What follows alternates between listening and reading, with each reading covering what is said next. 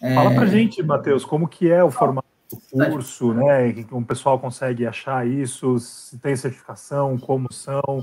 Conta um pouquinho para gente sobre o, o, formato desse modelo aí. Legal. É, existem vários treinamentos né, de Management 3.0 e algumas formas de se obter certificações, né? A certificação no Management 3.0, ela não é tratada como em alguns outros treinamentos em que você tem que fazer ali uma prova e, e, e coisas do gênero, né? Até porque o Management 3.0, ele acredita muito no, no que você só, que você só aprende quando você pratica. Então ele deixa sempre isso muito claro. Cara, não é sobre certificação, não é, embora muita gente goste ainda, né, e fale de certificação, mas Management 3.0 não é sobre certificação, exceto uma, que eu vou contar daqui a pouco, que essa é sobre a, a, a aplicação mesmo, né? Então, a gente tem o treinamento online, que é o Fundamentals, que é um treinamento de 10 horas, onde você vê ali os princípios do Management 3.0. Você tem o Management 3.0 Foundations, que é um treinamento de 16 horas, ele só pode acontecer no formato presencial, justamente porque você precisa ver as pessoas ali, o facilitador precisa ver a pessoa aplicando, precisa ver é, os insights que ela está gerando com o grupo, porque essa certificação, né, ou esse certificado, e não certificação, né, esse certificado, ele te é, possibilita se tornar um facilitador também, que é algo que eu acho ótimo. É, tem muita gente que fala assim, né? Ah, tem muito trainer, é, trainer de management 3.0, né? Cara, minha opinião, Matheus, eu quero que tenha 200. Porque se tiver, tiverem 200, são mais pessoas ouvindo sobre management 3.0 e mais gente praticando nas suas organizações. Então tem gente que olha assim, tipo, às vezes eu vejo é, uns memes na internet, tipo, Tipo, alguém explica a quantidade de trainers de Management 3.0, não sei o quê, então eu, tipo, começo a rir, mas eu, tipo, falo assim, cara, eu sou um grande apoiador disso. Eu sou um grande apoiador, por quê? Você está democratizando o aprendizado.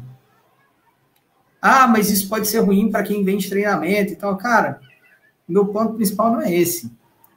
Meu ponto principal não é esse. Meu ponto principal é o aprendizado. Quanto mais pessoas falando sobre isso, mais vão, vão praticar isso nas organizações, mais os ambientes de trabalho se tornarão sustentáveis, por exemplo. A gente está passando por um período super complicado, as, as coisas estão começando a vir à tona agora sobre lideranças tóxicas, tóxicas vocês estão acompanhando isso, é, todo mundo está acompanhando, na verdade, né? E, e, os, e os gatilhos e os impactos que isso gera na vida das pessoas, como depressão, como a pessoa se sentir incapaz de fazer um determinado trabalho. Ah, mas Management 3.0 é sobre abraçar, árvores? Não, mas é sobre ter ali a, um ambiente de trabalho mais sustentável e feliz para todo mundo. No, tipo, a vida é muito curta para você ser feliz só nas férias, sabe? Isso quer dizer que a gente não vai ter meta, que não vai ter, de repente, um desafio, coisas do gênero? Não. Mas eu estou tratando seres humanos como seres humanos e não como recursos ou máquinas. Ah, Matheus, é, tipo, chamar é, pessoa de recurso, não sei o quê, então, nas organizações, muitas vezes elas são vistas dessa forma. Mas quando eu viro o gatilho e chamo de seres humanos, né, chamo de pessoas, é... a Tiririca já falando que nunca fez meme falando mal sobre trainer de management 3.0. É, não sei se eu já vi, eu acho, acho que eu já vi sim. Mas assim, o, o ponto principal é democratizar, sabe? Eu acho que conhecimento ele tem que ser democratizado. Quanto mais a gente democratiza, quanto mais trainers de management 3.0 a gente tiver, mais pessoas falando sobre isso nós teremos e possivelmente, né, melhores ambientes de trabalho, né? Os sistemas complexos eu não posso cravar que é aquilo, né, que vai combinar naquilo. Mas a chance de se falar sobre isso é muito maior. Então, eu fico muito feliz de, de em 2018, quando assumi a coordenação de materiais, de abrir é, para as pessoas isso que não era muito claro, sabe? Tinha, meia, tinha uma galera ali que era facilitador e tal, não explicava muito o caminho. Comecei a dar treinamento, vi como é que era o esquema. Falei, gente, ó, tem o meu treinamento aqui. Se quiser se tornar facilitador, cola aí com a gente. Se quiser participar, e nós facilitamos juntos, eu e Ivan, né? Se quiser participar de um treinamento nosso, pode colar, participa com a gente, aprende como roda e vai rodar treinamento na sua empresa. Se quiser rodar também no mercado, rode. Cara, o que a gente mais quer é democratizar o conhecimento sabe? Acho que esse é o ponto mais importante. Então, ah, eu quero uma gestão mais, mais é, uma gestão moderna e tal. Tá, mas você segura conhecimento? Então, cadê o compartilhamento em rede, né? estou preconizando a hierarquia. Eu estou aqui e as outras pessoas estão aqui embaixo, né? Não, tá todo mundo aqui. Eu quero todo mundo em cima.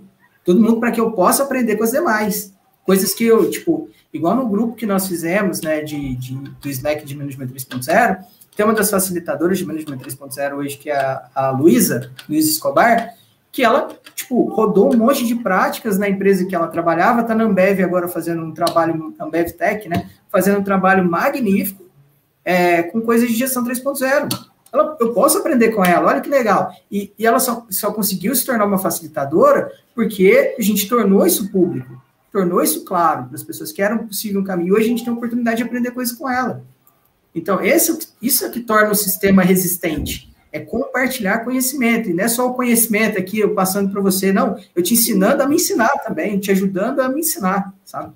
A troca de experiências que a gente tinha comentado, né? Exato. Então, é... até me perdi na pergunta. Qual foi a pergunta mesmo?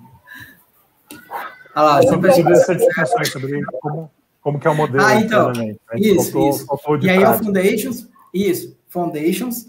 Aí tem o Energize People, que é sobre só os módulos de energizar as pessoas, né? Tem ali é, questão de Kigai, tem ali é, a questão também de, do Move Motivators, tem também o, o treinamento de agilidade para RH, que é o Agility HR, que é em parceria com a IC Agile. Esse tem certificação. Por quê? A Agile, ela dá, é, ela só dá certificado para quem prova que fez algum tipo de prática ali dentro.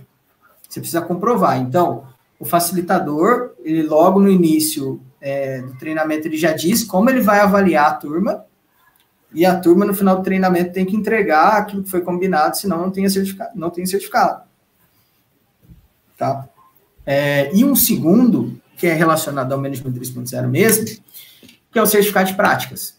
O certificado de práticas é quando você aplica sete artigos sobre coisas que você rodou na sua empresa, e com base nesses sete artigos, né, submetidos para o Management 3.0, com aquilo que você aplicou, com aquilo que deu certo, com aquilo que deu errado, você obtém essa certificação de práticas. E com essa certificação de, de práticas, você também pode se tornar um facilitador, porque você provou que você tem o conhecimento. Então, você pode ler o livro do Management 3.0, você pode ler, por exemplo, ler o, o, o Liderando para a Felicidade, que foi o livro que nós traduzimos, o Managing for Happiness, e rodar aquelas práticas e submeter, sem passar por um treinamento que eu acho fabuloso também. Acho muito legal. Legal, você não precisa ir para a sala, né, para ter conhecimento. Né?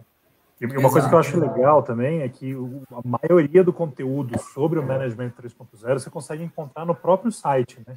Descrição da Sim, sim. Usar. Então, não, é, é um ponto que você trouxe que eu achei muito legal, né? Você não precisa fazer o monopólio do conhecimento para se fazer importante. E até uma parte muito importante do líder é se fazer desnecessário, né? É é capacitar outras pessoas para serem líderes, porque você só consegue crescer se você der a oportunidade de outras pessoas te substituírem, né? Tem muita gente que fica ali dominando a cadeira e não quer sair de jeito nenhum, mas perde a oportunidade de crescer e trazer os outros juntos. E aí, Renato, não é nem sobre, tipo, crescerem só, é sobre se tornarem melhores muitas vezes que você, né? E tá tudo bem. Eu, tô, eu, eu tipo, eu vou ter oportunidade de aprender com outra pessoa, olha que massa, cara.